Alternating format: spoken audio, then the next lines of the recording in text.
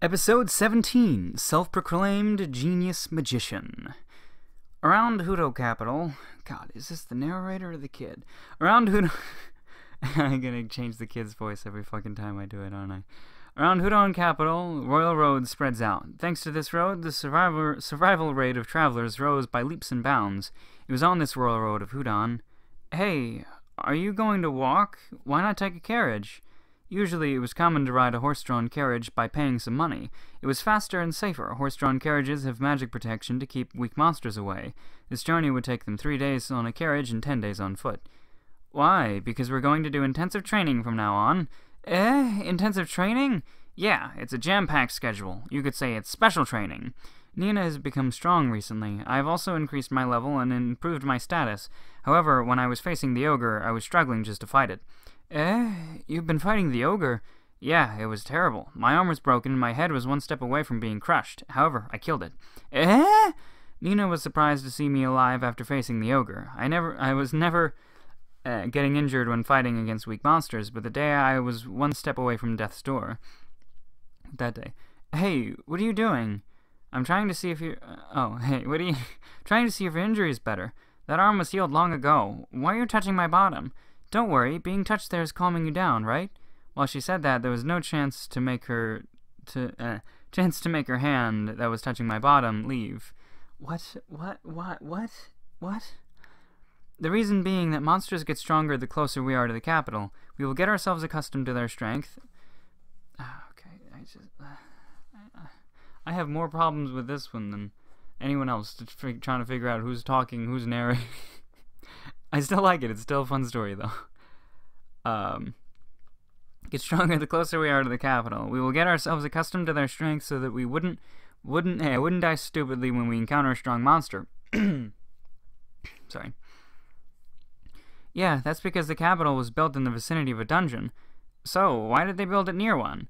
Because there's a lot of benefits. Nina told me the reason. Dungeons have monster spawning grounds. Unlike normal monster breeding, monsters spawned are of high purity. Weapons, armor, accessories, they can be created from monsters' materials. There are also treasure boxes spawning inside dungeons. Treasure boxes spawning may sound weird, but the aim of so many adventurers is finding those boxes. From a high-ranked dungeon, one could even find national-level treasures inside. If one could find such a treasure, they could live the remaining part of their life in luxury. But there are a lot of monsters attacking. Still, there are more benefits than drawbacks. However, we haven't encountered any monsters. That's because we're on the Royal Road. That day, we didn't encounter any demons until nightfall. Today, we will camp here. Eat, eat! We say it's a camp, but it's more like a bonfire. We don't have any tents to justify naming it as a camp. We ate bread... I don't know why I said camp like that. We ate bread and dried meat that was made by Stella. She taught me how to make it once. Stella's bread is delicious. Because of Nina's remarks, my eyes become watery.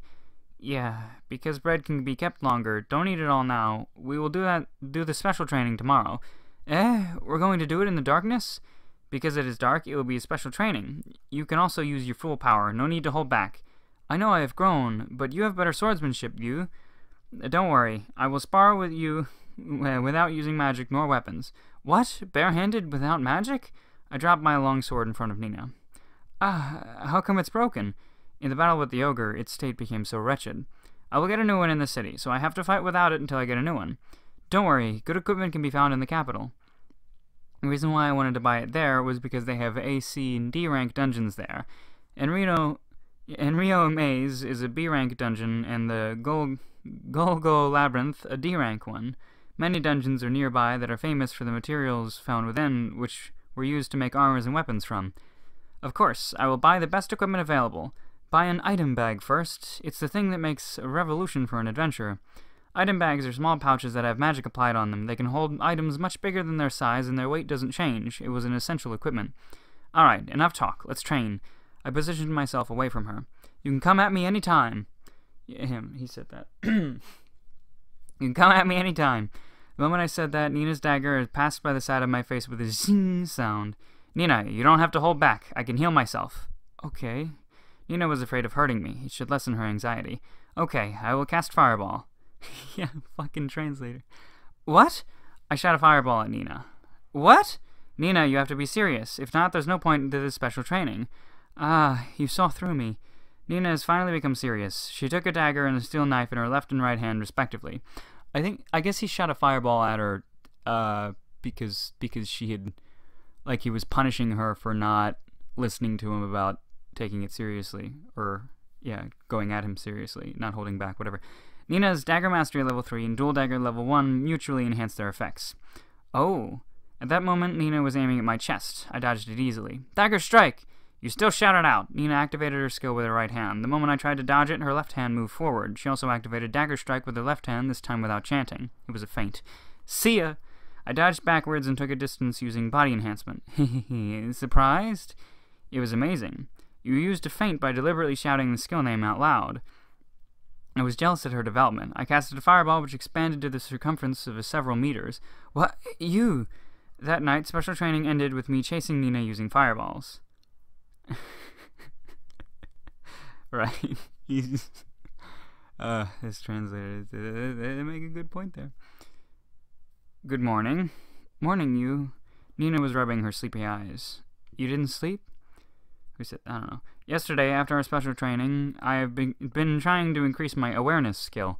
Monster has been caught in my awareness area, and because of that, I couldn't go to sleep with a peace of mind.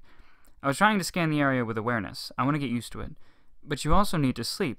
Well, I want to get used to it. It's because we will be entering a city soon. Corner Coomer City that we'll be visiting has a population of over 100,000 people. If I don't get used to using awareness, some bad things may happen. We were walking, but Nina kept on looking at me. She was sh- uh, making sure that I was okay. on the way, we saw one wagon. Five to six adventurers were on it. It stopped moving a few meters away from us. What's happening? A girl got off the carriage, while the men inside were sneering at her. We have some company. Oi, Patchan, come back here. What did you just call me? Patchan? No, you must have misheard me. Having said that, their carriage took off, leaving her behind. It was a robe-wearing girl with short blonde hair and a face belonging to 10 to 12 years old. I looked at her status. Pachan. Is that wasn't there was there a blonde girl in the pictures? There's there's a third there's like a mage looking chick. I think she might have been blonde, I don't know. She she also seemed uh, young, so probably her. You know, it's in the thumbnail. um See, I don't look at the thumbnail when I put up the thumbnail cuz cuz it's super fucking Oh, I love that. Uh, I'm dying. Oh, no, no, no, I gotta get back to the story. Name, Lena, For- uh, Lena Forma. Race, human. Job, magician. Hey, magician. So, so yeah, that's another point towards, uh, pretty sure that's the girl in the thing. Uh, level 7, HP 21, MP 67, Strength 1, Agility 3, Vitality 2, Intelligence 23, Magic 44, Luck 16. Passive skills, casting speed up level 1, active skills, white magic level 2, black magic level 2, special skills none. What is applause talk? What is that? Whatever. What's with her status? She's a magician, but her physique is horrible. You guys. What? What? Nina and I said it at the same time. You're lucky. Nina, let's leave. To have met me. Quick. The genius magician. I'm a magician. What? Hey. Yeah! I've met a strange person.